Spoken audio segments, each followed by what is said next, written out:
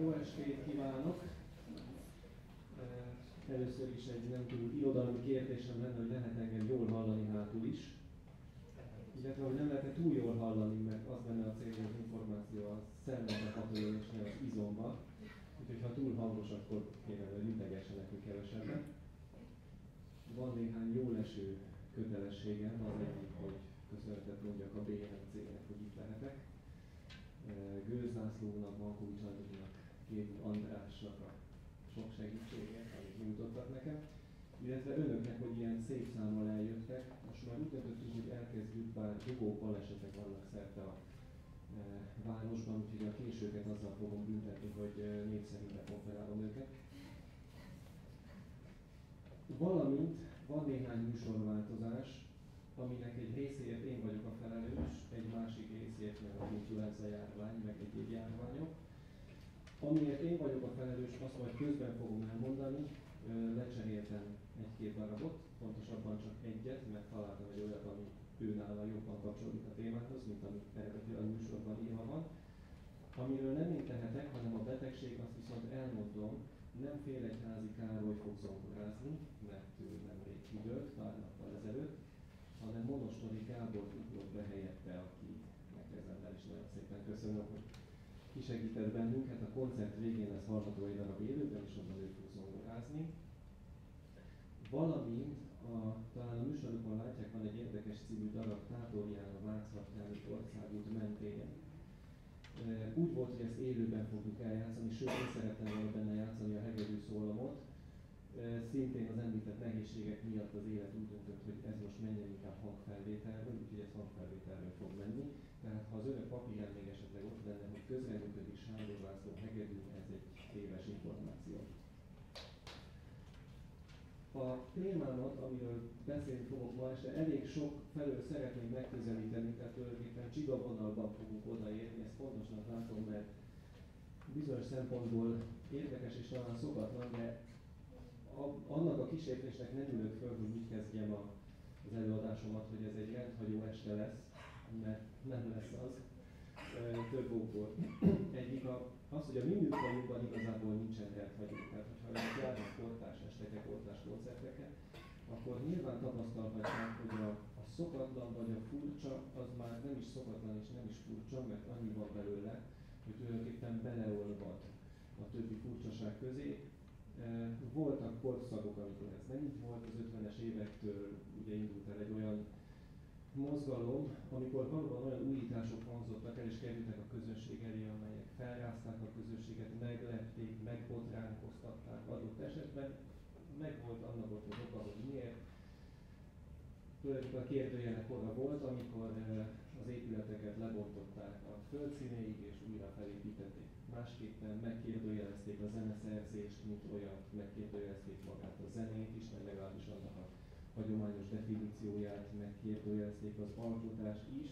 Én azt hiszem, hogy nem ez a korszak van most, ami nem azt jelenti, hogy a kísérletezésnek adott esetben nincs létjogosultsága, és bizonyos értelemben, amit én csinálok, és amit már a képen is látni fognak, és meg is szólal, valamilyen értelemben kísérletezés, de a művek, amelyek ebből születnek, azok mégiscsak két művek, nem értékelhetőek kísérletként.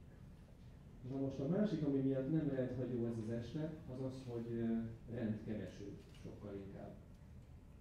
Az, hogy a zeneszerzés az a rend megalkotásának az egyik módja lehet, illetve a látszólagos vagy valóban létező káoszból való kivezető utok keresésének egy módja, ezt nem csak én mondom, hanem ezt nagyon sokan gondolják így. Úgy gondoltam egyébként, hogy ez egy egészen családias este lesz, és nem csak azért, mert a gyerekei itt vannak és hamarosan nem is alszanak, hanem azért is, mert itt az ismerőseink közül senki nem lesz biztonságban, tehát bárkinek a neve bármikor elhangozhat, bárkire hivatkozhatok, jobb az előközlöm. Így rögtön Horváth Balázs barátomra, aki azt mondta egyszer egy interjúban, hogy amikor komponál, semmi más nem tesz, mint hogy a hangok között megpróbál rendet. Na most ugye több megjegyzés is kívánkozik. Az egyik az, hogy nyilván a hangoknak egy olyan rendjét állítjuk össze ilyen módon, vagy legalábbis hát erre törekszünk, ami még nem volt, illetve amihez még hasonló sem volt, különben egyszerűen csak utánzók lennénk. Tehát az a rend, amit összeállítunk, az a kombináció, az legalábbis jellemző kell legyen miránk. Ez viszont nem jelenti azt, hogy feltétlenül újszerű lesz abban az értelemben, ahogy az imént az 50-es, 60-as, 70-es évek experimentális zenéről beszéltem. Tehát amit én csinálok, az bizonyos értelemben új, legalábbis amennyire a kutatásaim során ezt meg tudtam állapítani, hát nem tudtam a világ összes zeneszerzőjéről beszélni még, ezt nem nagyon csinálta eddig más, illetve én tudok egy francia zeneszerzőről, Manurinak hívják, bár nem vagyok egészen biztos benne, hogy jól ejtem ki a nevét, aki a növénytannak, illetve a botanikának egy mellék ágával foglalkozik, nevezetesen a Lindenmayer rendszerekkel, illetve hogy azokat beépítse a zeneszerzésbe. Na most az illető júniusban jön Magyarországra. és a tervem az, hogy ott látható a plakát, Kék András kezében, ezek szerint ide jön a BNC-be. Ezt most tudtam, úgyhogy én itt leszek meg fogom kérdezni, pontosan mit csinál, bár az tény, hogy a Lindenmayer rendszerek alapvetően egy olyan matematikai rendszer, amit alkalmazni lehet a botanikában.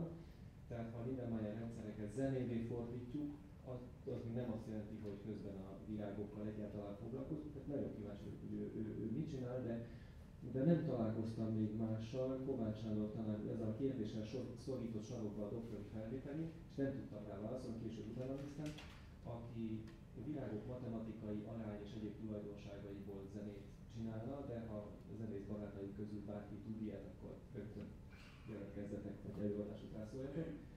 Tehát ebből a szempontból talán újszerű, ugyanakkor mindenképpen hagyományos, abban az értelemben, hogy tanítványi tekintettel figyeli előző korok zeneszerzői módszereit, különösen a 18. század előtti zenéket. Végeredményben a cél nem más, mint ami nagyon sok kornak, nagyon sok zeneszerzőjének célja volt, hogy a hangok, vagy lehetőleg a hangok közül minél több, ne véletlenül legyen ott, ahol van, és ne véletlenül azok a hangok legyenek ott, amelyeket kiválasztunk. Voltak éppen azok a gondolatok, amelyek fejünk körül keringenek, mielőtt alkotásra adnánk a fejünket, vagy leülnénk a potta papír fölé, azok olyanok, mint egy ilyen kifésületlen hajzat, és azt e, számok, arányok, egyéb segítségek segítségével próbáljuk kifésülni. Amiről ma beszélni fogok, az is egy ilyen fésű vagy hajkefe. Na most felmerülhet a kérdés, az az, hogy bennem felmerül, hogy jól teszem-e az, hogy nem csak a zenéket mutatom meg, amelyek ilyen módon készültek, hanem megmutatom a hozzájuk vezető utat is. Erről különböző emberek gondolkodók különböző képpen vélekednek, és erre nagyon sok példát lehetne találni, nagyon sok irányból lehetne közelíteni. Én most egy Hermann Hesse mondatot szeretnék az üveggyöngyjátékból felolvasni, ami egy párbeszédben hangzik el, és a főszereplő mondja, így hangzik. Csak hogy a szellemi alkotás olyas valami, amiben igazán nem vehetünk úgy részt, ahogy némelyek hiszik. Platonnak egy párbeszéde, vagy Heinrich Isaac egyik kultustételes mindaz, amit mi szellemi tettnek műalkotásnak, vagy tárgyasított szellemnek nevezünk, végeredmény. A végső következménye a megtisztulásért, felszabadulásért vívott harcnak. És nem bánom, nevezük úgy, ahogy te, kitörés az időből az időtlenbe, és a legtöbb esetben azok a művek a legtökéletesebbek, amelyek már mit sem sejtenek a létrejöttüket megelőző harcból és viaskodásból. Most Hessével részben egyetértve, részben vitatkozva azt mondhatom, hogy a műalkotás vagy tud a hozzávezető útról, vagy nem tud. Hogy az érthetőbb legyen, mondok példát, először arra, amikor tud róla. Sostakovics tizedik szimfónia, mondjuk a második tétel, ami Stalinnak a portréja. Hogyha meghallgatom ezt a darabot, tulajdonképpen valószínűleg Sostakovics majdnem minden művét, akkor azt mondhatom, hogy ha nem is tudnám, hogy ez a zene Stalinnak a portréja, hát mindenképpen szorongó érzéseim lennének, az biztos, hogy valami fajta ilyen enyhébb rettegésféle érzés fogna el, ami a szerzőt is egyébként tulajdonképpen egész életében hatalma alatt tartotta, hiszen minden pillanatban attól tartott, hogy megjelenik a ház előtt a fekete autó és elviszi. Most egy darabig még gyönyörködhetek a csillagó, csillogó zenekari hangzásokban, de ha elég érzékeny vagyok, egy idő után biztos, hogy elkezdem sejteni mindazt, ami a zene mögött van. A történelmet, a politikát, a szerzőnek a lelki vívódásait, és így tovább. Na most hát mondjuk ellenpéldát is, de hát Hermann Hesse mondta ezt az ellenpéldát. Heinrich Izákot említi, aki holland német alföldi zeneszerző 15. századi, nagy utazó zeneszerző volt. Elmondott pár dolgot, ami az ő életében történt, és igazából az lesz stílszerűen mutatnék Izák zenét, erre most nincsen idő, esetleg ha tehetik otthon hallgassanak bele, de például amikor Firenzében volt, akkor ugye kapcsolatban volt Lorenzo Medicivel, méghozzá feltételezhetően baráti kapcsolatban volt vele. Lorenzo Medici ellen például volt egy merénylet, ami nem sikerült egyébként, de a Medici öccse mégiscsak beállhat a merényletbe. Akkor ott voltak a Firenze és Milánó közötti háborúk, ott volt a békekötés, ott volt egy új állam, ami akkor megalakult, és a végén a Medicinek a halála, ami mindenképpen megviselte Izákot, hát ebből semmit nem hallunk a darabján. Méghozzá miért nem? Tulajdonképpen erre a kérdésre kellene most már válaszolni, hogy valóban a, a darab miért tud az öt megelőző útról, és miért nem tud, ha nem tud. Hát engem nyilván ez utóbbi érdekel. Akkor nem tud róla, hogyha az alkotó az alkotáshoz szükséges energiát, amiből nagyon sok kell, egyébként erről nem szoktak beszélni, de az alkotáshoz rengeteg energia kell, fizikai is, de szellemi és lelki energia is. Nos, hogyha az, ezekhez az energiákhoz szükséges forrásokat ö, olyan helyről meríti, amely források egyáltalán nincsenek kapcsolatban az említett dolgokkal. Ezt úgy is lehetne mondani, hogy mondjuk elképzelünk egy sziklaszírtet, amire, hogyha kiülünk és lelógatjuk a lábunkat, történelem, politika, érzelmi dolgok, lelki vívódások hullámai még dagály esetén sem érintik a lábunkat. Na most hát én több egy számot említettem, de ilyen forrás egy van. És Várkonyi Nándor nagyon szellemes hasonlatával élve, ő ugye azt mondja, hogy az elektromosságról csak úgy szerzünk tudomást, hogyha az valami ellenállásban megmutatkozik, például egy ízószában. Egyébként nem tudunk róla semmit. Az említett forrás, amiről én beszélek, és ennek a megnevezését egész idő alatt úgy fogom kerülgetni, mint maskar provokását, onnan az energia áramlás olyan módon történik, ami nem befogadható, nem érthető, hogyha a fény hasonlatával élünk, akkor azt mondhatjuk, hogy ha látnánk, megvakulnánk benne. Ezért szükségünk van ellenállásokra. Valaki más, talán Havas Béla, de nem vagyok biztos, úgy mondja, hogy prizmákra van szükségünk, ami ezt a fény színeire töri. Ezeket a színeket aztán természetesen már lehet látni, be lehet fogadni. Na most a világ az egy ilyen ellenálló közeg. És én ezért ebből a célból a világot hívtam segítségül, hogy nekem törje meg azt a fényt sajátos módon, úgy, ahogy ez neki jól esik, és én ezt a fényt ezt tudjam használni a magam alkotói módszereinek. Na most hát miért pont a világ? Lehetne sok minden más is. Egyáltalán mit itt rá nekem, hogy a világokkal foglalkozzak zeneszerző létemre? Erre vannak könnyebb válaszok, vannak nehezebb válaszok. Az egyik az, hogy fogalmam sincs. Azt hiszem, hogy ez a legexaktabb válasz, amit erre tudok adni. Volt egy pillanat, ami előtt nem érdekelt, utána érdekel. Ilyen egyszerű. Most hát ez a pillanat az időben nem mérhető, ez a múltat elválasztotta a jövőtől, és minden, ami időben nem definiálható, azt ugye az örökké valóságban szoktuk definiálni. Tulajdonképpen egy olyan e, témához értünk, amit minden előadásom előtt háromszor meggondolok, hogy szóba hozzam-e vagy nem, mert elég nehéz róla beszélni, a dolog személyes vonatkozásai miatt is. Viszont tudom, hogy különösen a nem zenélő közönséget ez nagyon szokta érdekelni, és hát ez az ihlet, úgyhogy most megpróbálok pár mondatban esetlen szavaival kicsit adóba az ihletről beszélni.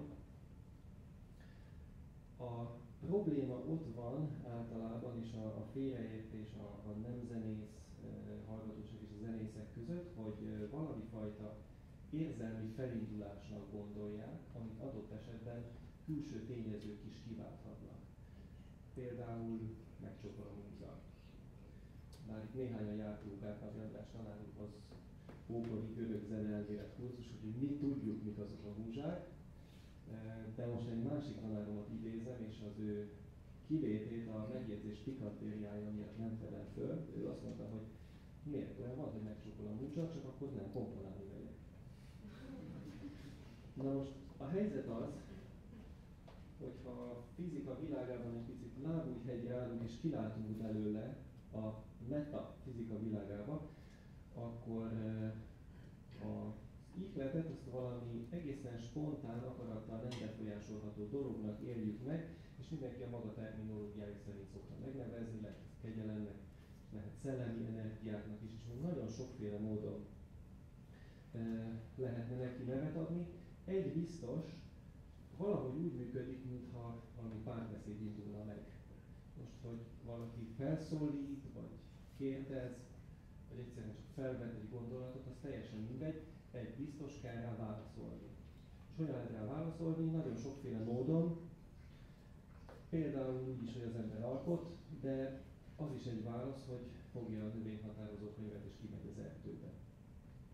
Most én ezt a választ adtam néhány évvel ezelőtt, és akkor még álmaimban nem gondoltam, hogy ebből zene lesz, akkor egyszerűen csak arra gondoltam, nem alaptalanul, hogy ha a növényvilágot és a gombavilágot megismerem, akkor talán a zenéről is többet fogok tudni. Ez most lehet, hogy így egy kicsit furcsán hangzik, de megkerülhetném a kérdést egy nagyon egyszerű törvágással, hogy minden minden összefügg.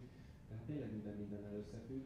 Így is lehetne mondani, hogy az ember minél többet ugye megismer maga körül a világban, akkor azért saját magát is jobban megismeri, és végül is a történetesen zeneszerző, akkor talán ennek a zenére is van kihatása. Minden esetre az egy nagyon örömteli felfedezés volt később, amikor egy levélkötetben olvastam róla, hogy ez nem csak nekem jutott eszembe, hanem nálam sokkal nagyobb egyéniségnek, mint például Anton Webernek, aki Berthez írott levelében a következőt írja. Annyit el kell mondani, hogy egy kirándulásról számol be. Mindenek előtt beszeretnék hatolni minden a jelenségek tisztán reális megismerésében. Minden a jelenségek az a természettudományok, növénytanás, és sokkal őt is a növények érdekelni. Ezért van velem mindig botanika könyvem, és ezért kutatok olyan írások után, amelyek magyarázatot adnak e dolgokra. Ez a realitás magába foglal minden csodát. A valóságos természet kutatása, megfigyelése számomra a legmagasabb rendű metafizika, teozófia. Szívem szerint beszél a szerző. Megismertem egy téli zöld nevű növényt. Ő az. Gyöngyvirághoz hasonló. Ezzel a megjegyzéssel nem tudok mit kezdeni, mert egyáltalán nem hasonlít Jelentéktelen, alig észrevehető növényke. De ez a balzsamos illat, ez az illat.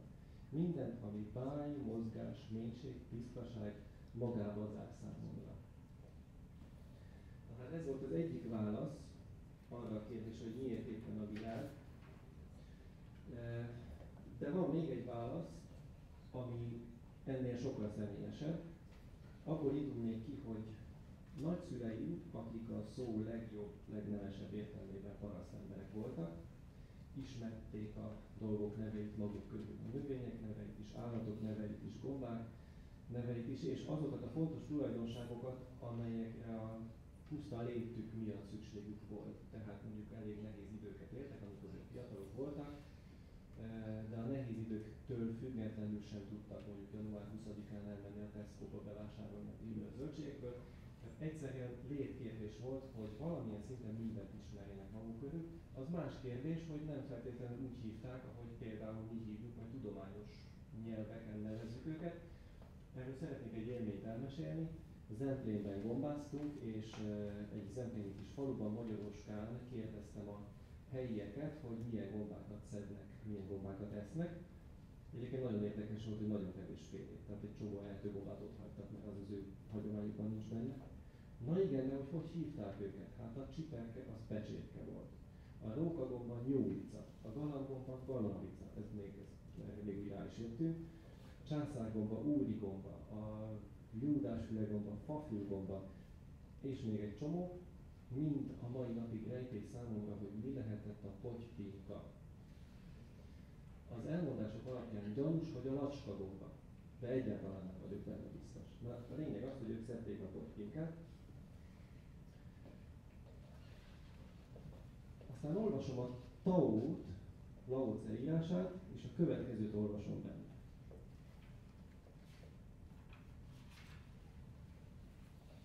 Hajdan, akik az úton jártak, nem adtak tudást a népnek, ápolták az együgyűséget. Illetve máshol, tudni a nem tudást, ez a legbölcsebb. Aki nem tudja a nem tudást, szenved.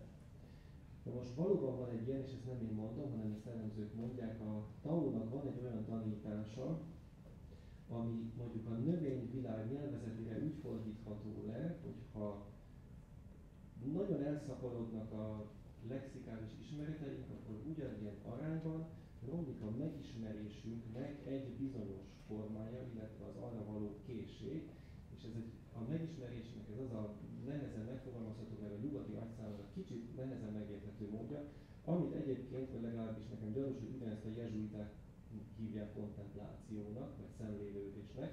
Tehát amikor nem úgy ismerek meg valamit, hogy olvasok róla mindenféle, hanem úgy ismerem hogy figyelem, addig figyelem, még azzá nem válok. Tehát míg a megismerendő és a megismerő, az nem két külön tényező lesz, hanem egy és ugyanaz. Ez valóban egy kicsit ugye nehezen fogható fel számunkra, de vannak ellenpéldák is. Például ugye a második teremtés történetben meg azt olvassuk, hogy az Isten figyeli, ahogy az ember nevet ad a teremtményeknek, többek között a növényeknek. Többek két nagyon szép dolog van, az egyik az ember adja a nevet, a másiknak az Isten. Akkor most melyiknek van igaza? Én azt gondolom, hogy mind a kettőnek valószínűleg azért egy picit félreértelmezzük a Tauro szavait, de valóban, ha elveszítjük azt a képességünket, hogy a megismerésnek ezt a kontemplatív formáját gyakorolni tudjuk, az mindenképpen egy szegénységet okoz, ez kedves tanárunk, Dubai tanárunk, akinél többen is tanulunk, tanultunk, úgy mondta, hogy rá tudunk-e nézni egy szövegre, anélkül, hogy elolvasnánk. Ugye el tudjuk olvasni, és nem cél, hogy ne tudjuk elolvasni, de az elolvasás által elvesztettük azt a képességünket, hogy nézzük a betűt, mint formát. Na most hát a növényeket ugye lehet így is nézni, és úgy is, és mint hogy említettem, hogy mind a két elméletnek igazat adok, én azért megtanultam a neveket, és még megtanultam sok minden más is a növényekről, mert úgy gondoltam, hogy van valami e, misztikus jelentősége annak, hogy a növények neveit tudjuk. Mindenesetre érdekes volt, hogy amikor a tanulással valameddig már jutottam, akkor az erdőbe betérve azt vettem észre, hogy ismerősök közé jövök be. Én is ismerem őket, és ők is engem, és megindult közöttünk egy olyan kommunikáció, ami addig számomra ismeretlen volt. Többen fölállnak az előadó bolond, megbeszélget a virágokkal. Igen, szoktam, és mindenkinek ajánlom, hogy próbálja ki. Rendkívül jó szórakozás és időtöltés. Arról nem is beszélve, hogy azt ígértem, most már lassan 20 perce erre várnak, hogy a virágok megszólaljanak, meg is fognak szólalni hamarosan, és én vagyok a tolmács. Tehát amiről én úgy gondolom, hogy ők mondják, vagy úgy vélem, hogy ők mondják, azt le fogom fordítani, de nem szavakra, mert annak semmi értelme nem lenne, hanem sokkal inkább zenékre. Most még annyit azért hagyd mondjak el, hogy a, a világnak nagy jelentősége van máshol is, vallásokban, tanításokban, bölcseletekben. Van egy történet Budháról, amikor tanított, oda ment hozzá egy ember, majd közölte vele, hogy mester, mondd el nekem az élet lényegét. Ez a tipikus, hogy mindent te rögtön. Hát a mester rögtön látta, hogy hát ez így nem fog menni, úgyhogy nem válaszolt, hanem letépett egy virágot, fölmutatta, és egy darabig tartotta szó nélkül, néhány percig. Volt, aki értette, volt, nem. A Máté evangélium mondatait pedig jól ismerjük. Nézzétek a mezők liliomait, hogyan növekszenek, nem fáradoznak és nem vannak. Mégis mondom nektek, még Salamon sem volt dicsősége teljében úgy felöltöztetve, mint egy ezek közül. Na most, hát a mai előadásnak a célja, utána kicsit hosszúra, mint bevezető után, az lesz, hogy megismertessem önökkel a zenészekkel is, és a nem zeneértőkkel is, és próbálok majd úgy fogalmazni, hogy mindenkinek kedvébe járjak, azt az utat, módot, ahogyan egy virágtól én a hangokig jutok el. Mondjuk az valószínű, hogy nem fog az összes virág, amelyik ezen a réten látható.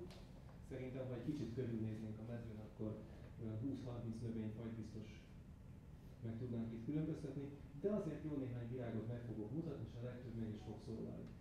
Na most hát mit használunk a virágból? Először azt, kell, azt mondom, amit másodszorban használok be. Számait, arányait, azt, hogy hogyan ágaznak el, milyen távolságban vannak egymástól az elágazások, milyen a levél, milyen a virág, hány darab szírma van, mi a virágnak a színe, stb. stb. Mint mondom, másodszorban ezeket. Mert elsősorban azt az érzetet használom, ami akkor fog el, ha ránézek egy virágra. Mert azt azért szerintem senki nem mondhat, hogy ránéz egy virágra, és nem történik vele semmi. Tehát, hogy a legkisebb változás sem megy ő benne végbe attól. Én azt hiszem, hogy amikor egy virágot nézünk, akkor nem ugyanaz az ember vagyunk, mint aki akkor voltunk, amikor még nem néztük azt a virágot. Most én ebből indulok ki, mert azt gondolom, hogy ez a lényeg, és ebből hát nyilván érzetek, érzelmek, gondolatok adódnak, amelyek adott esetben az előbb említett hajzat formájára össze-vissza csaponganak, vagy mint egy szilaj folyó törnek előre, és hát a medret ki kell kövezni, vagy adott esetben gátakat kell építeni, és a gát anyagához gyakran használjuk a számokat. Ezt nem csak én, hát itt azért ülünk néhányan zeneszerző kollégák, akik, akik szintén gyakran nyúlnak a számokhoz, annak érdekében, hogy valóban mederbe tereljék ezeket a partalan és féktelen gondolatokat. Ezekről a számokról is fogok beszélni, a szimbólumokról, arányokról, igyekszem úgy, hogy azért a végére ne zúgjon a fejünk, és minden darabot, amiről szó lesz, meg is fogunk hallgatni, a legtöbbet felvételről, és egyet a végén pedig élőben. Azt hiszem, hogy nem is húznánk tovább a türelmüket, hanem nem is kezdenénk ezzel a virággal. Most csak a darabnak elég furcsa, de lényegre törő címe van. Júliusi virágok Nyugat-Dunától. Ez a darab címe. Olyan virágokról szól, amelyek júliusban nyílnak Nyugat-Dunátúlon. Azt hiszem, hogy ezzel senkit nem lettem meg. Talán azzal sem, hogy a darab a 2014-es Szombathelyi Bartók szemináriumra íródott, ami júliusban volt Nyugat-Dunátúlon, Szombathelyen. Az lett volna ugye a legjobb, hogyha lemegyek a táborba, az első nap én szerte az erdőkön, mezőkön, megnézem, virágzik, és azokból készítek egy darabot, de ezt nem lehetett megcsinálni, mert a darabnak kész kellett lennie, mire odaérünk. Úgyhogy én kezembe vettem a szakirodalmat, és olyan növényeket választottam ki, amelyek akkor ott biztosan virágzanak. Hát nyilván máshol is, lesz egy kivétel, de ezt majd ott fogom elmondani. A darab egyébként hat előadóra íródott, ezt azért mondom, hogy előadóra és nem hangszerre, mert nem énetek ütőhangszer szerepel benne, de őket egy ember szólaltatja meg. Két tételből áll, az első tétel öt növényt, a második tétel egy növényt szólaltat meg. Az első ezek közül az erdei szellő rózsa, és több okból öt választottak arra, és a többi világgal ígérem, hogy nem fogok ennyit foglalkozni, hogy bemutassam azt a módszert, hogy legalábbis az egyik lehetséges módszer, aminek segítségével világolt hangok lehetnek. Na most azért is öt választottam ki, mert ő volt az első növény, amivel ilyen módon foglalkoztam. Tehát ugye, amikor ránézünk, akkor amit elsőre meglátunk, hogy fehér. Azt hiszem, hogy ez a legfontosabb információ, illetve, hogy öt szírma van, egy öt szírmű növény. Ez elég fontos, hogy öt szírma van, mert van egy hozzá nagyon hasonló berkiszelő rózsa, aminek meg hat van, ha jól tudom, csak erről lehet megkülönböztetni. Egyébként itt ült tőlem nem messze a botanika tanárom, Olyák Péter, úgyhogy marhaságot mondott, fel fog ugrani dühösen, lecsukja a laptopot. Szóval fehér, na most hát igen a színek. Erről azért nehéz egy kicsit beszélni, mert ez nem egy exakt tudomány, de azt jól tudjuk, erről írott tudományos munka is van, hogy az európai zenének, és nem csak az európai zenének, hanem minden olyan zenei hagyománynak a hangjai, amelyek az oktávot 12 egyelő hangra osztják, ezek a hangok hozzá vannak rendelve egy-egy állatöbbi egyhez, hiszen 12 állatöbbi együtt van. Most az európai zenére jellemző, hogy ebből hetet választ ki, és hét hangot csinál egy hangsor. Na most azt mondják, és ezt már nem tudom nyitott forrással bizonyítani, de nagyon nem tudom képzelni az igazságát, hogy ezeknek mindegyike hozzá van rendelve egy akkoriban ismert égitesthez, ugye nagyjából 1950-ig, a Földet nem számítva 7 égitestet ismertek, ami, ami nem állócsillag, hanem bolyongó csillag, ugye ezek lettek a bolygók, így származik az elnevezés. valamint a szivárványnak is hét színe van, és én arról is olvastam, hogy a hét a szivárvány hét színéhez is hozzá van rendelve. Ellenben az égi testek szimbolikus színei és a szivárvány színei nem azonosak. És itt jönnek a nehézségek, mert például a hold ezüst színű, és a szivárványban ezüst. A nap az arany színű, és még lehetne mondani, hogy sárga, és erre van egy adatom egyébként, a kínaiaknak a szent hangja, a sárga hang, az egy é hang, egy magas é. Egyébként az é, én nekem is sárga. De innentől kezdve muszáj a szubjektivitást is bevonni a dologba, mert különben nem tudnék elindulni. Én számomra a fehérhez rendelt egyik hang, mert több is van, az a C. Ezért építettem a C hangra egy hangsort, ami ott alul látszik, hétfogú hangsort. A hangsorban még azok a hangok szerepelnek, de most hagyd nem menjek bele, mert egy kicsit elbonyolítanám a dolgot. Így is szeretném valamivel egyszerűbben elmondani, mint ahogy ez valójában van, mert, mert szeretném, hogyha nem zenész hallgatóságom sem aludna el, viszont a zenészek szellemi és gondolkodási igényét is kielégíteném. Ez a hangsor föl van írva a több oktávon keresztül, és a keretben látszik az a kivágata, ebből a hét hangból dolgozunk. Ennél a világnál ez egy C alapú hangsor, mert. Most van neki öt szírva, de nem csak ez jellemző, hanem nagyon érdekes a levele. Háromszorosan tenyeresen szervelt levelei vannak. Ez azt jelenti, hogy van a leveleknek egy főág, amiből három ág kiágazik. Az is további három részre tagolódik, és ezek a pici részek is további három részre tagolódnak. Ez egyébként egy fraktál viszonylat, most hazabeszélek, mert a fraktálból fogunk írni a doktori munkámat, ha Isten is megsegít. Innentől kezdve tehát van egy ötös viszonylatunk, és van egy hármas, ami háromszor, háromszor, hármas módon is értelmezhető. Na, itt már motivumok vannak.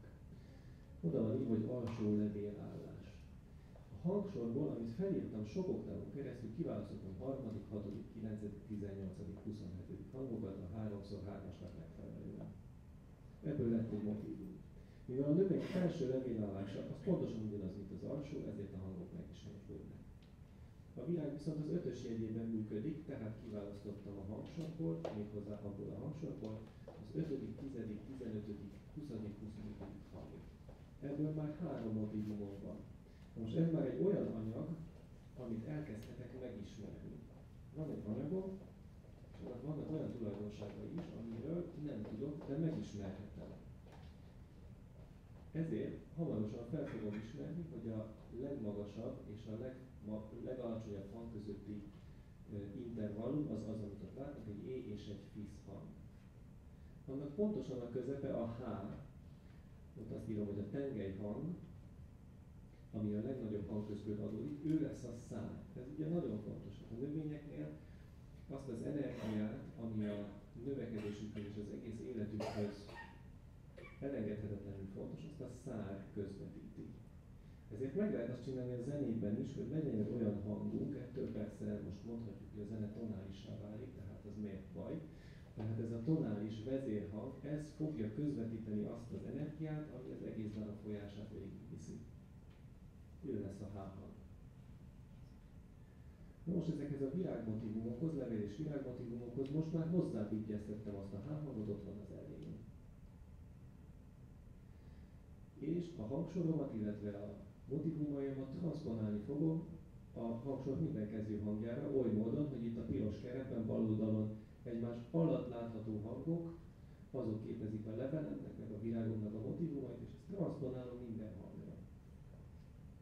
Ez már annyi zenei gondolat, amiből egy darabot lehet készíteni.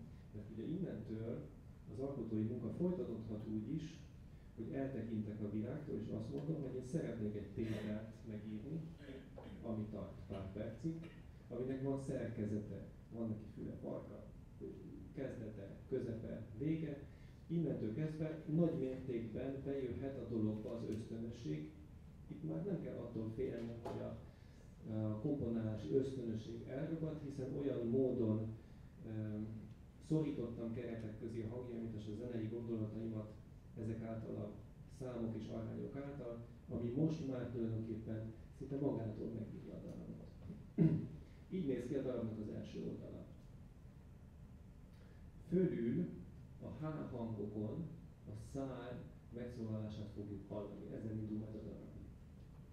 Persze hát itt már ritmusok vannak, dinamikák vannak, van okaim rá, hogy miért pont azok, ebben most megint nem szeretnék belemenni, mert úgy érzem, hogy túlzottan elbonyolítanám a dolgot. Ami zöldebben van keretezve, az a levélnek a motivuma, a leveleknek a motivuma. Egy ütemmel később a zongora be fog lépni a világ motivumaival, és innentől kezdve ezek fognak ismétlődni. Hallgassuk meg ezt az első oldalt, és az első három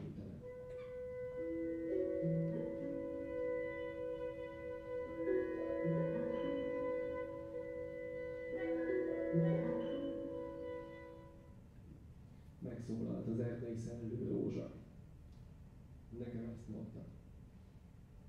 Nos, hát a tételben még több világ is van, és nem fogok mindenkiknek a matematikájába belemenni, mert szerintem egyik tulajdonságai sokkal érdekesebbek. Hát már csak nézzük meg a képeiket, mert pusztán az esztétikai élmény sem utolsó.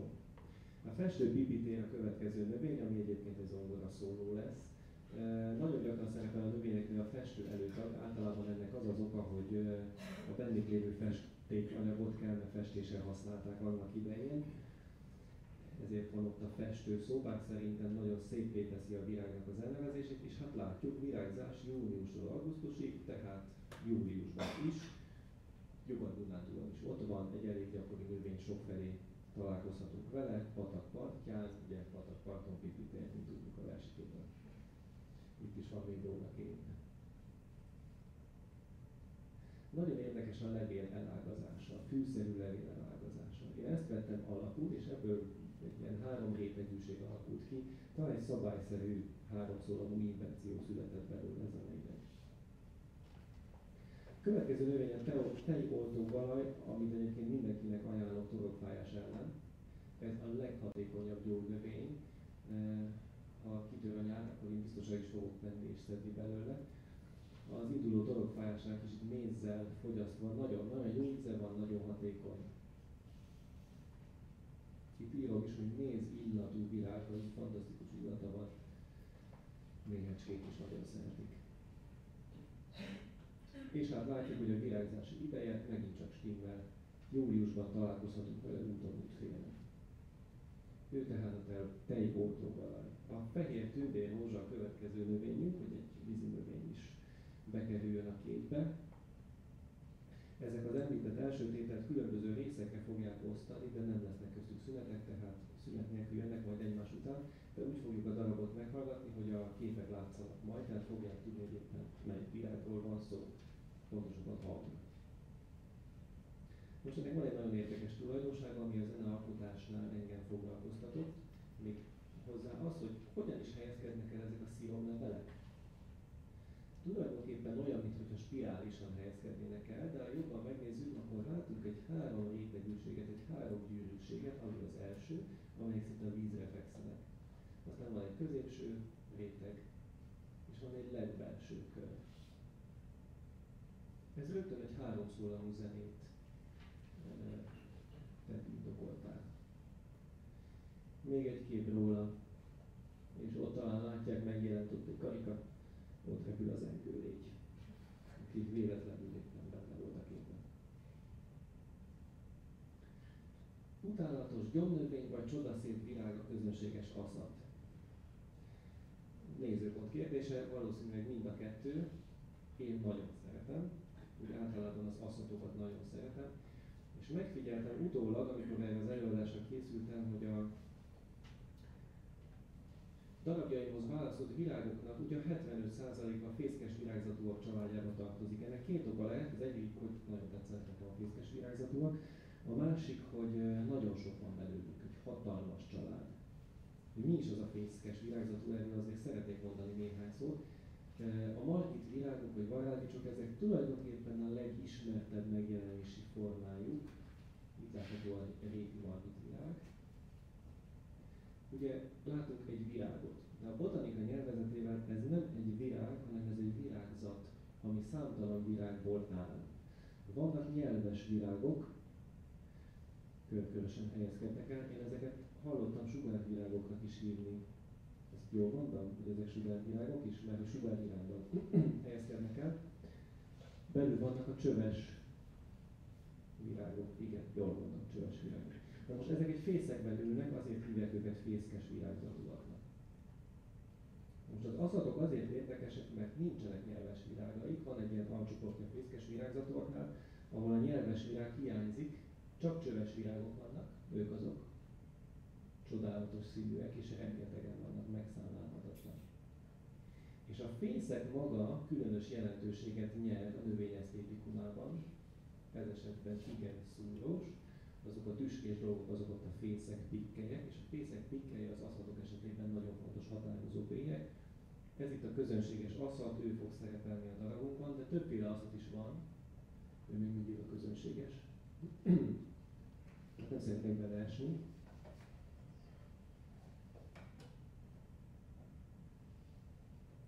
Ez egy ritkább növény, az emblémben készült a kép.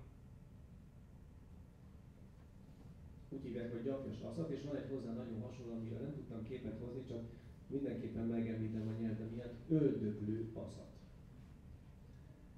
Nagyon hasonlít a növény, csak nem gyapjas a fészke. Ez a szürke aszat, ez az egyik kedvencem. Nagyon szépek a fészes pikkéjei. És ha méhecske volnék, én is fejes ugranék oda nyelves virágok közé. És szeretném volna megmutatni a mezei aszatot, de nem sikerült, mert ráült egy kardos lepke.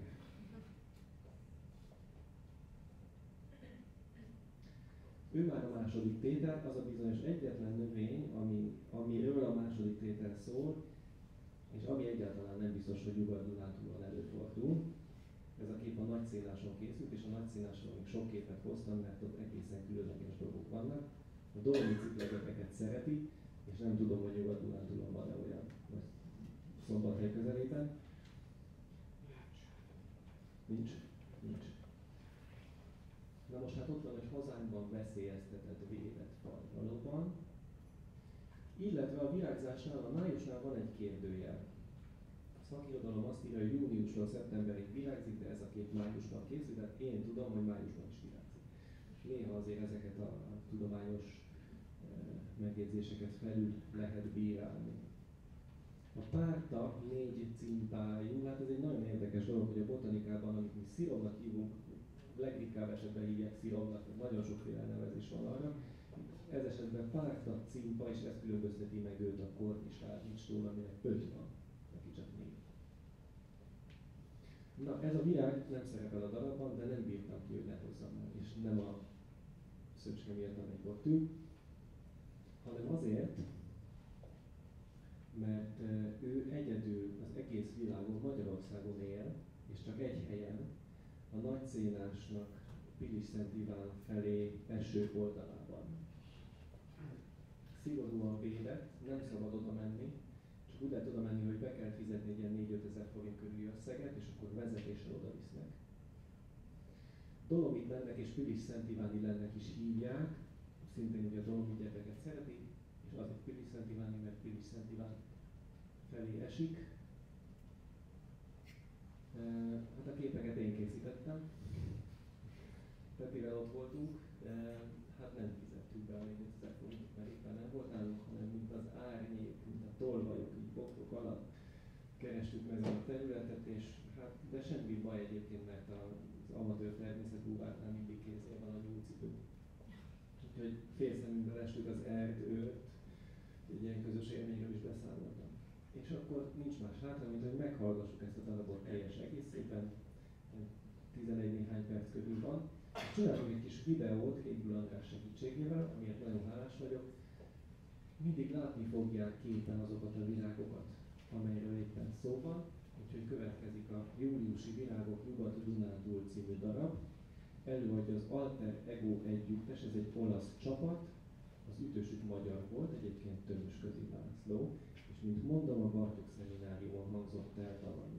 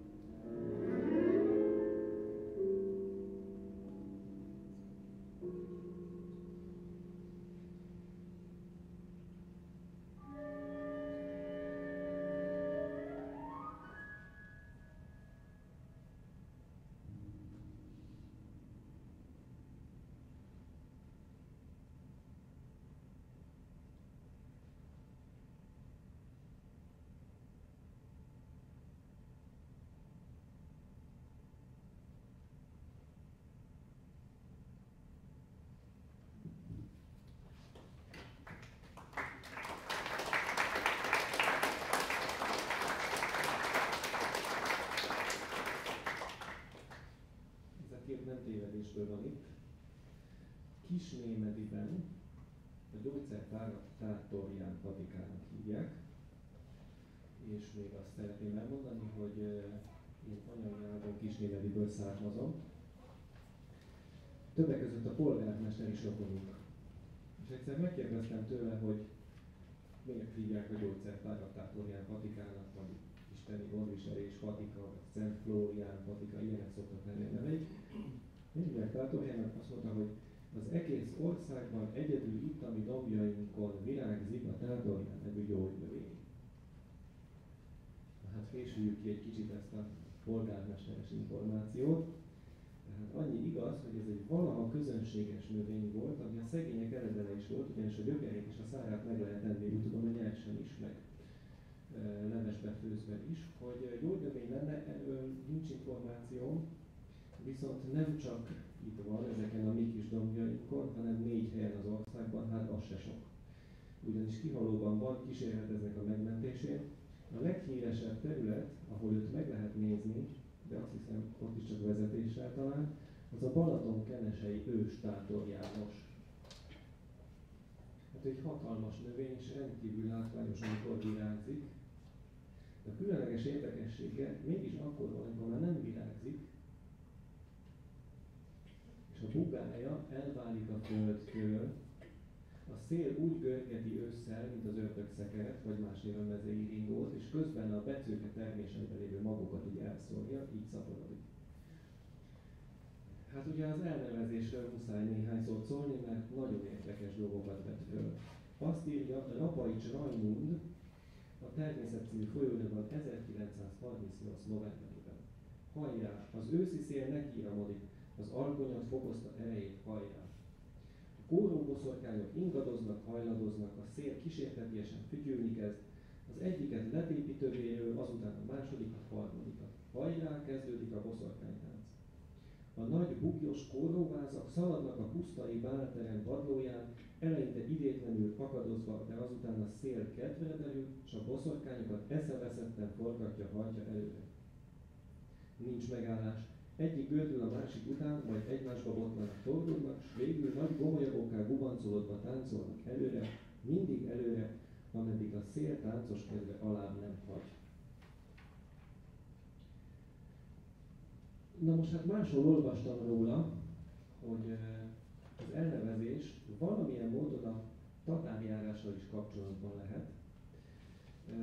Illetve az egyik lexikonban írják azt, hogy az eredete eldönthetetlen, de lehet, hogy török eredetű szó az is lehet, hogy magyar, nem lehet megmondani, az biztos, hogy jó pár száz éve, főleg az Alföldön a tátorján szó fergeteget szélvészt jelent.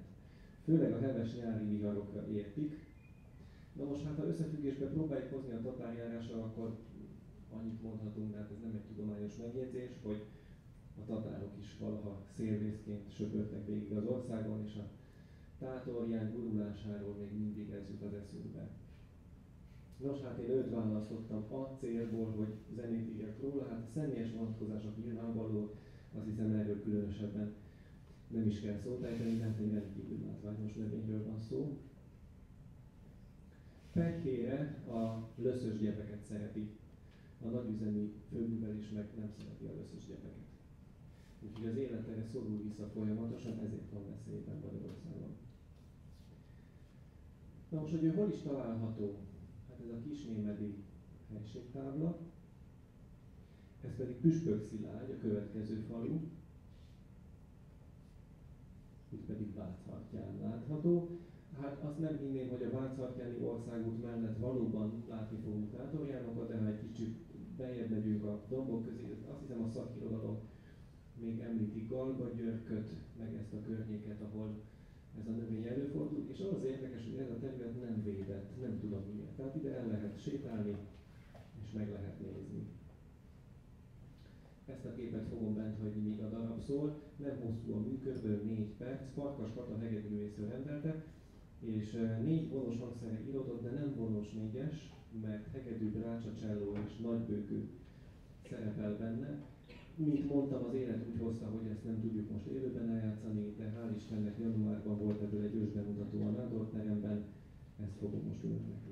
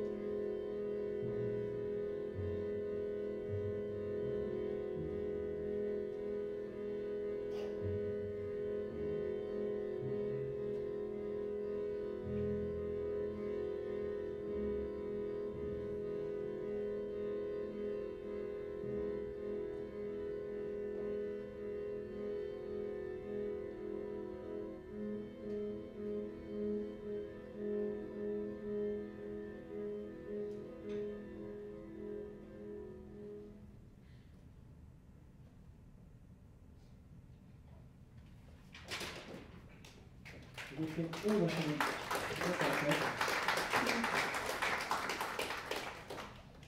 olvasom egy receptet, ez is valami régi, régi írományban. Tátorján gyökér, libogané, cukor és kis pálina. Mindez tüdővész ellen. Bár szerintem az első három összetevőre nem lenne feltétlenül szükség. Nagyon hatékony a negyedik magában is. A képen egy zenemű látható. Itt van az egyik műsorváltozás, aminek én vagyok az oka, ugyanis ha még régi papírjuk van, akkor azon az Et Transfiguratus S című darabot olvashatják, ami egy zenekari darab, és e, több okból úgy döntöttem, hogy nem azt tűző műsorra, hanem őt. Az egyik ok az, hogy a zenekari mű egy héttel ezelőtt elhangzott, hál' Istennek a műpában, sokan ott voltak most itt a jelenlévő közönségből, ismerősök, családtagok közül, és nem akartam őket mutatni. Igen, Judika is ott volt. Gyerekek is ott voltak. És a másik, hogy ez a darab nem egy virágról szól, már az a címe, hogy egy virág, de ez egy általános arra. Vannak olyan darabjaim korábbról, amikor még igazából a biológiával nem is foglalkoztam, de azért a természet dolgai mégiscsak érdekeltek, és végeredményben, aminek az egész élet, növény és állatvilág és mi magunk is alá vagyunk vetve, az azért elsősorban mégiscsak a nap és annak változásai, azon is leginkább az évkör.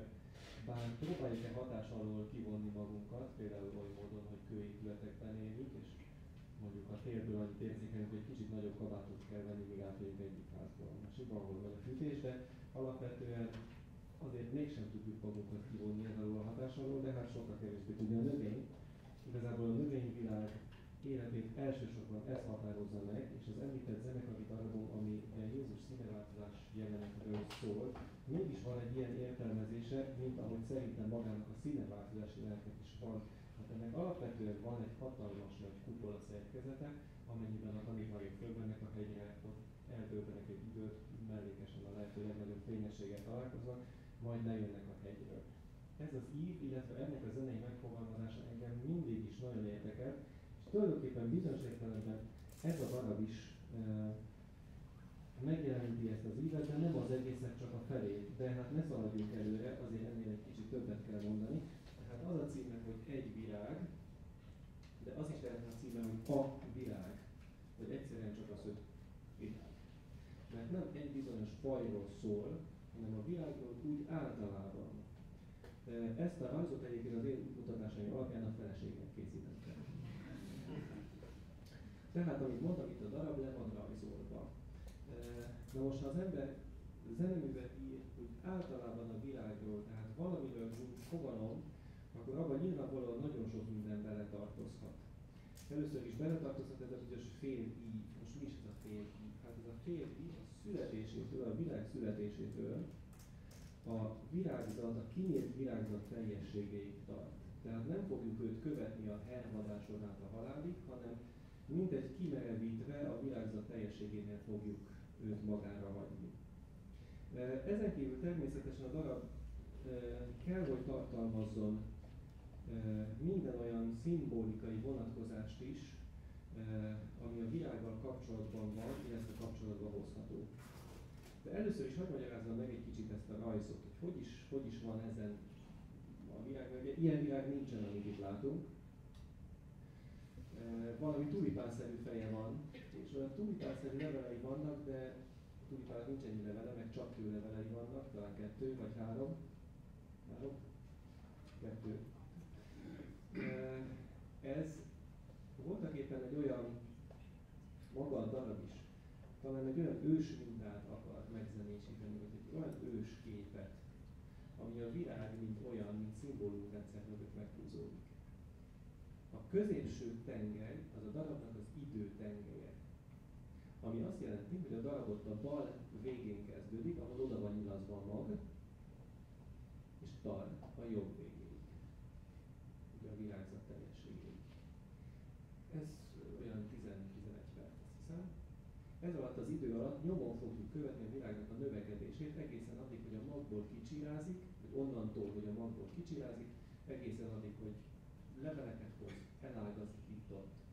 Ezek az elágazások adják meg a szakaszait, aztán a végén bimbót növeszt, és majd ki fog nyílni a világ. Beszéljünk egy kicsit a magról. A darab elején zenei értelemben is van egy mag. Így hangzik.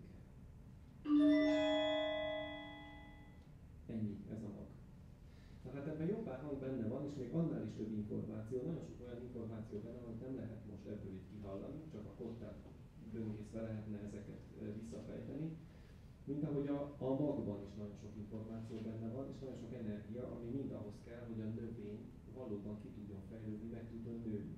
Most zeneileg olyan információkat sűrítettem ebbe a magba bele, amelyek aztán a darab folyamán fontosak lesznek, most hogy nagyon egyszerűen kicsit vulgárisra fejezem ki magam, tehát ha valahol elakadnék a komponálással, akkor megmondom, hogy a mag mit üzen, hogy itt most hogyan fog folytatni.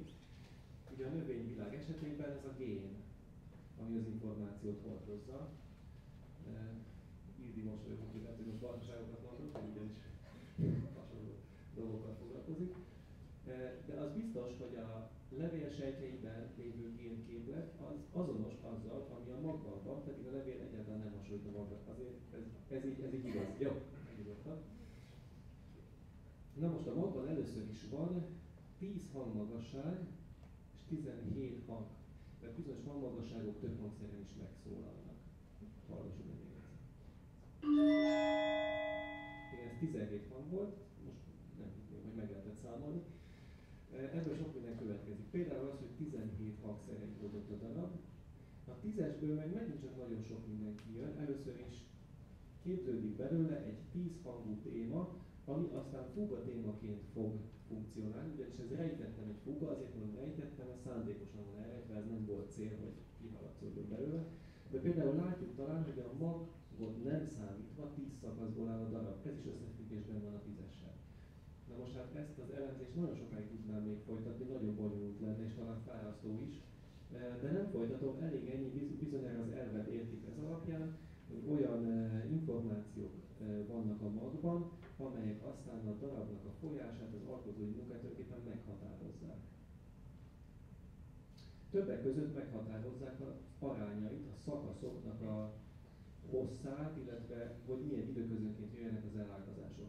Na most hát ilyen arányúság a természetben nem fordul elő. Tehát, hogy a levelek így jöjjenek egymás után, az ágak ilyen távolságokban ágazzanak el, ilyen nincsen. Ez, ez, egy, ez egy abstrakció. Vannak aranymetszési arányok is, aranymetszések, aranymetszései is, ezek mind a magból következnek. A időbeli tájékozódás segítik azok a számok ott fönt. Ők az ütések negyedre értve.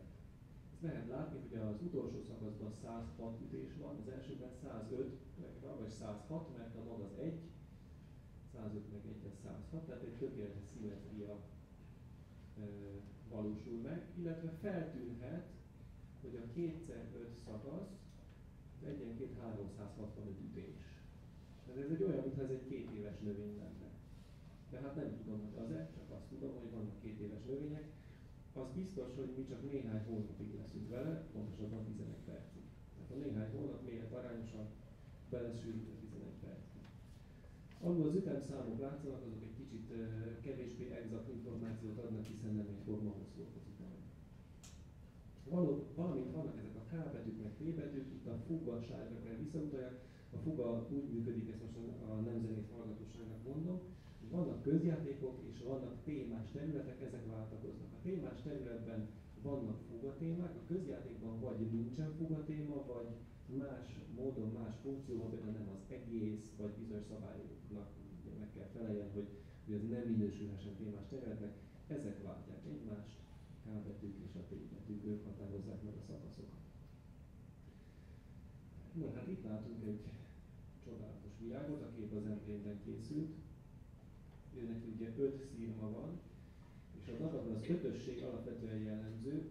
Az előző képen láttuk, kétszer öt szakaszból áll, nagyon sok öt hangú motívum van, egyéb, egyéb ilyen ötösségek. Miért ez az ötösség a darabban, és lehet ebből arra következtetni, hogy valamilyen ötszírmú világ van itt megemlítve? No, Na most, ha az ember a világról zenét ír, és kihagyja annak a szimbolikus kapcsolatát a nővel, illetve a szerelemmel, az körülbelül olyan, mintha filmet csinálnék a hajózásról, ahol végig nem látszik a víz. Hogy mi az ötösnek a szerelemhez, tehát nagyon egyszerű ennek a magyarázata. Ez a magyar nép művészetre is igaz, de nem csak erre, ez egy, ez egy világ különböző pontjain jelenlévő szimbólumrendszer, hogy akár a képi megjelenítő művészetben, akár a hangzó művészetekben, ha van egy kicsi egységünk, ami úgy bomlik két különböző részre, hogy a két különböző rész nem egyforma hosszú, akkor szinte minden esetben az egyik fel a férfit, a másik fel a nőt képviseli. Ez nagyon sokszor a kettes és hármas viszonylatában jelenik meg. Rengeteg olyan magyar népi tánc van, páros táncok, egyértelműen szerelmi táncok, amelyeknek az ütem, ütemmutató, ütemegységük az úgy válik két különböző részre, hogy nagyjából kettőt ér az egyik, és nagyjából hármat a másik, amennyiben a kettes a nőt, a hármas a férfit jelképezi. Na most hát mutatok öt virágokat, szebbnél szebbek, a Dunai Szentült egyébként a Pilisben meg lehet nézni, ezt Taki fölött készült ez a kép valamikor augusztusban. Ezek mind középpontosan szimmetrikus növények. Őrúluk szól le a darab. Hát valószínűleg nem őrúluk szól, ugye nem szól virágról, ezt említettem, de ha valamelyik virágra gondolhatunk, mégiscsak, hát ez nem a héri, és miért nem? Azt mondjuk, ugye közelik a húsvét, hamarosan eljön húsvét hétfő, ami nagyon sok mindennek az ünnepe. Egyházi ünnep, csillagászati ünnep, valami nagyon szoros összefüggése a mezőgazdasági munkákkal, itt már teljes győzelmében van a fény, amennyiben túl vagyunk a tavaszi napi egyenlőségen is. Már várjuk a csírák megjelenését, több helyen a vetés már megtörtént, állatokat ihatják a legelőre, stb. stb. Ugye szerelmi ünnep és termékenységi ünnep is. És hát amikor megyünk locsolkodni, már én már csak a lányaimat szoktam meglocsolni a feleségemet, akkor azt mondjuk, hogy zöld erdőben jártam, kék jóját láttam. És nem azt mondjuk, hogy héricset láttam, pedig az is akkor virágzik, mert még lehet mondani, hogy szótagszámban nem jön ki, meg a kankalin se. De mondjuk a tüdőfű kijönne, tehát azt már mondhatnánk, hogy zöld erdőben jártam, tüdőfüvet láttam. Javaslom, hogy vessék be ezt a változatot. De nem, hát azt mondjuk, hogy így kibolyát láttam. És miért vajon? Hát a titoknak van nyitja, méghozzá a titok nyitja abban a furcsa kifejezésben van, a latin szóban, hogy zigomorfű virág. A zigomorfű virág az azt jelenti, hogy a virágzatra húzható egy olyan egyenes, ami két teljesen egyforma tagolja a növényt. Tehát egy szimmetria tenger. Ugyanakkor jelenti azt is, hogy húzható egy olyan egyenes is, ami pedig két különböző részre tagolja. És itt már nyilván látjuk, hogy miről van szó. Ilyen módon a felsősorban két szírom van, az alsóban három.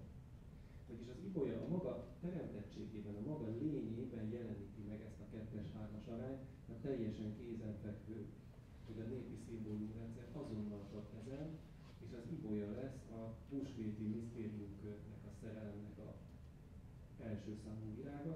Egyébként nem csak húsvétkor találkozunk vele, más nótákban is. Például van egy olyan, hogy kék ibolyát ültettem a pohárba, ez a regény válogat a leányba. De sorolhatnánk témákat is. Mert most persze rögtön lehetne mondani, hogy és akkor mi van azzal, hogy telekertem zsájával, szerelemnek lángjával. Most hát ezt senki nem mondta, hogy a szerelem egyetlen szimbolikus növény az ibolya, de az ibolya ezért az. A zsájának egészen más oka van, erről majd egy másik előadás alkalmával fogok mesélni, most nincs mindenre idő. Elnézést, nincs más hátra, mint hogy meghallgassuk ezt a darabot. Fogom mutatni azt a képet, amit az előbb is láttunk, és színes sávok fogják jelezni azokat a szakaszokat, ahol éppen tartunk, ez az önök időbeli tájékozódását fogja segíteni. A darabot pedig az Umze Kamara Együttes adja elő, Rácz Zoltán vezetően.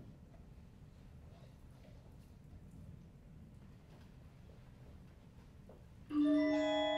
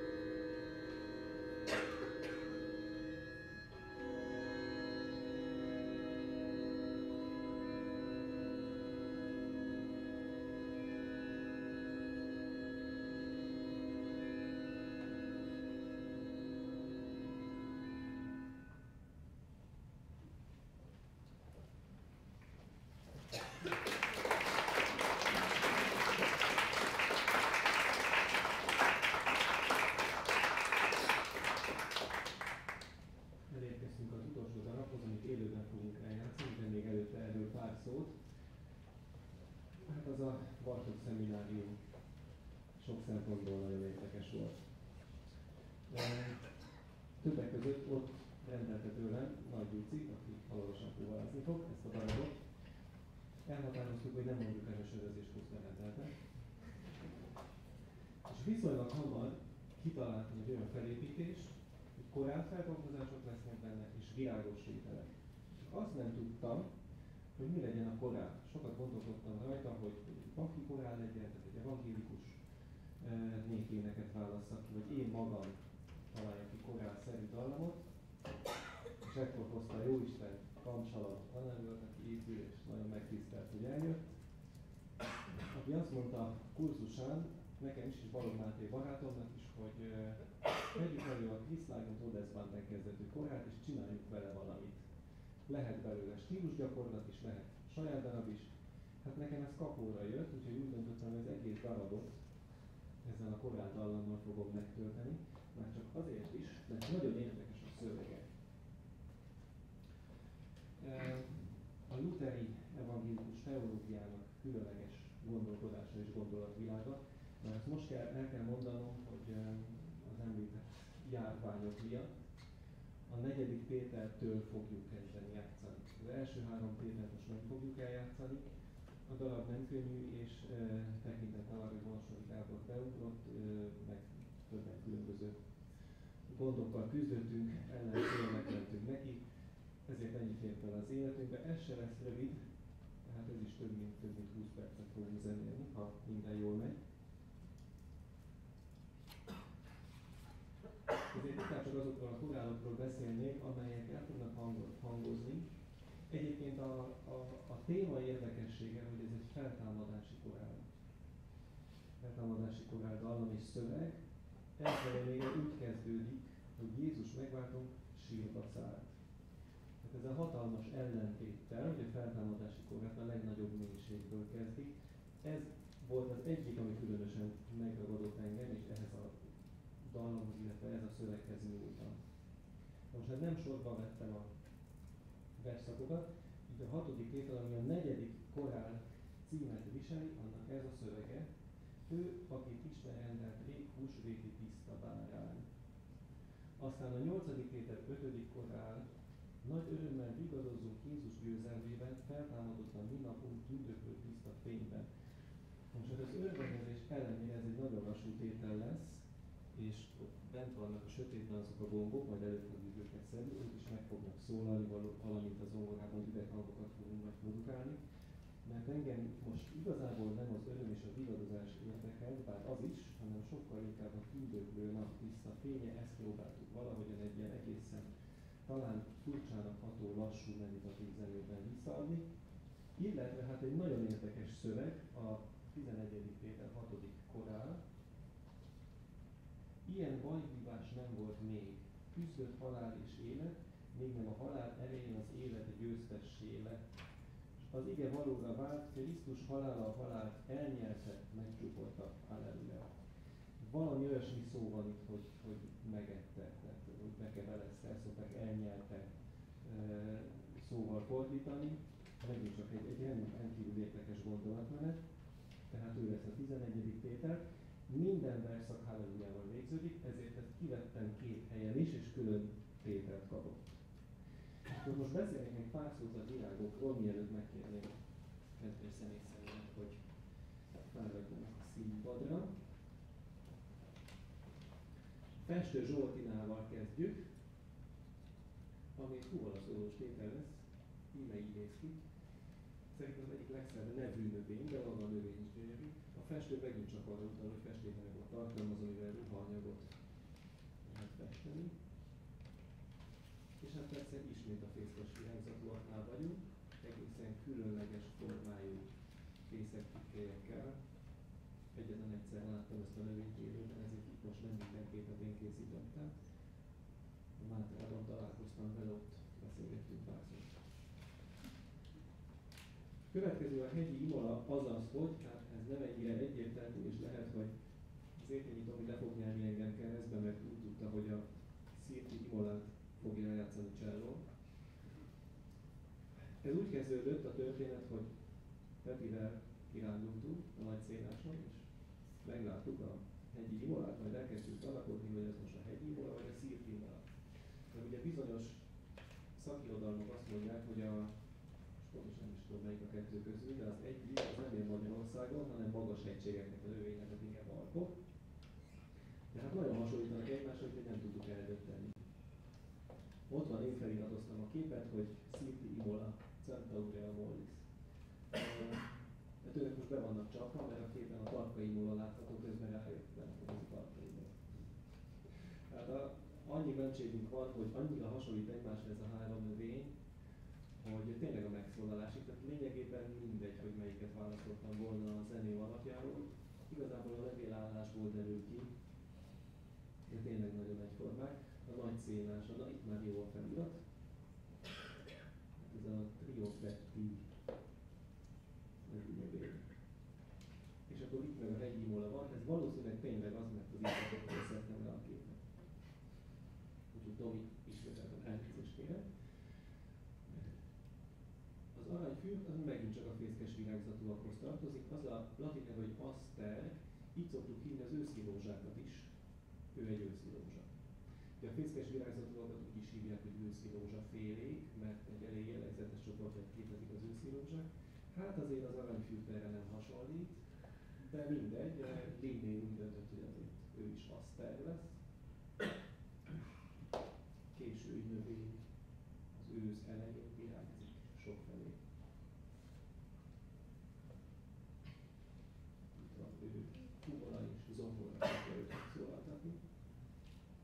És végül van az erdei tulipán, ami erdei is, meg nem is, mert én úgy tudom, hogy vadon csak úgy fordul elő, hogy a kertjeinkből kivadul nem esített kivadul. És akkor ugye rögtön elkezd hasonlítani a vadősre, ami azt jelenti, hogy sárga színű, és pirosba, bordóba, lilába játszik a külseje. De nem esített tulipából rengetegféle színű van, és e, tegnap előtt óta tudom, hogy kék is van. E, saját szememmel láttam, amikor a Blaha téri aluljáróban a fehér tulipánt lefújták kék festékszódóra. No, tehát ezt a darabot fogjuk előadni, immáron élőben. Néhány klasszikus dolgot szeretnék elmondani, tehát hogy a negyedik Péternél induló, azt már elmondtam. Illetve van benne két furcsaság. Az egyik az, hogy bizonyos tételeket vezényelni fogok. Ez nem azért van, mert a zenészeknek mondjuk jó. Ebben a műfajban ez szokásos, ugyanis azért itt már a ritmusoknak a komplexitása olyan méreteket ölthet, hogy bár el lehetne játszani karmester nélkül, de kár a fáradtság, és sokkal több munkát igényelne, sokkal egyszerűbb, ha odaül valaki karimpálni, ez esetben én leszek, de csak bizonyos tételek igénylik ezt, úgyhogy más tételeket éppen fogok ülni, és kedves barátaim fognak dolgozni, lesz talán egy viccesnek tűnő jelenet, amikor az üveghangokat megvalósítjuk, ahhoz ugyanis zongorán legalább két emberre van szükség, és én ide fogok e, kuporodni e, Gábor lábaikhoz, és ezzel fogom kifejezni hálámat azért, hogy beugrott az utolsó pillanatban, és megpróbáljuk majd az üveghangokat is ilyen módon megvalósítani. Hangversenytermi zongoránál egy kicsit könnyebb lenne a helyzet, de nagyon szeretjük ezt a pianinot egyébként, a, melyik a Kultmák házaspártól származik, ha jól tudom, ezt, inkább András tudná elmondani ennek a történetét. A darab dramaturgiája nem tudom, hogy ilyen módon ki fog derülni. A terv az volt, mivel elég sokat tanultunk Kamsalamon tanár úrtól az evangélikus istentisztelet felépítéséről, ez valahogy úgy akart kinézni, mint egy evangélikus istentisztelet. Vagyis az első négy tétel az azt a célt szolgálta volna, hogy az utcáról bejött ügyesbajok dolgaival foglalkozó kicsit hozzáhangolja a szertartáshoz. Ezek ugye a bevezető énekek szoktak lenni praktikus esetben. A második rész benne maga a szertartás. Oda kerültek a kulcsoságok.